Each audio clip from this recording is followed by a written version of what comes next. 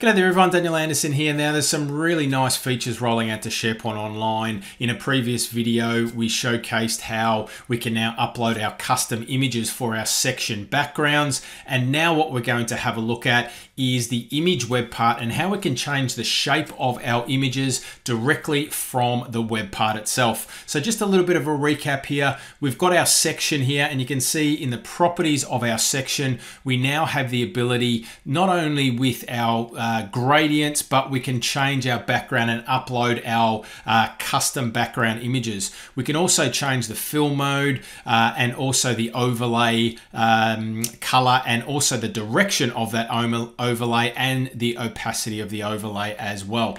Now what we're going to do is I'm going to add from the templates, I'm going to add a three column layout with the image web part. And we're going to add an image to each of these uh, image web parts. So just for simplicity, I'm going to just use the same image in each uh, web part here.